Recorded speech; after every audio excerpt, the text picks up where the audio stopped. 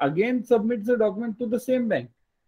Then in that case, the bank doesn't remain the advising bank. That bank becomes the nominated bank or presenting bank, not even nominated bank.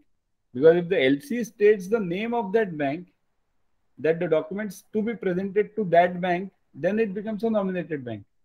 If the LC doesn't state anything, then that bank just becomes a presenting bank. Uh, clear every